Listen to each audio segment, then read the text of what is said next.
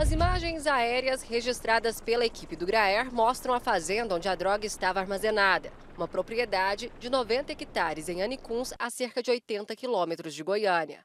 Parte da cocaína estava no interior da casa. O restante foi encontrado em malas, escondidas no meio do pasto.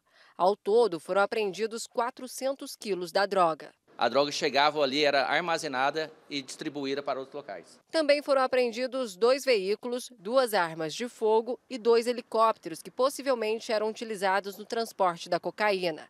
As aeronaves estão com a documentação irregular junto à Agência Nacional de Aviação Civil, a ANAC.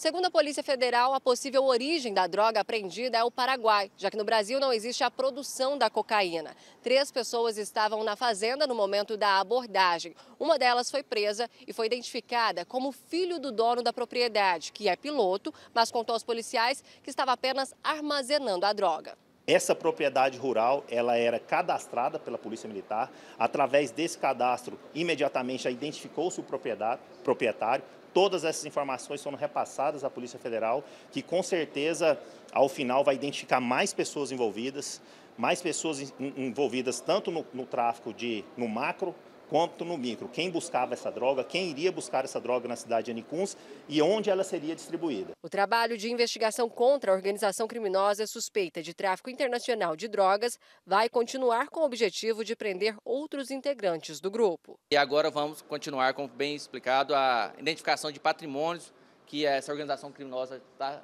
oferindo com lucro, né, para tentar desarticular todo o patrimônio e reverter isso para a sociedade.